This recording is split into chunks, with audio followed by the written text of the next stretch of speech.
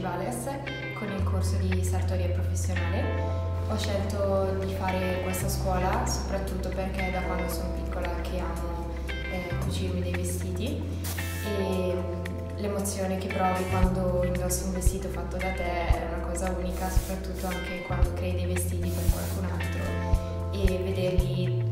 che vanno anche solo a fare la spesa con un vestito fare proprio questa scuola perché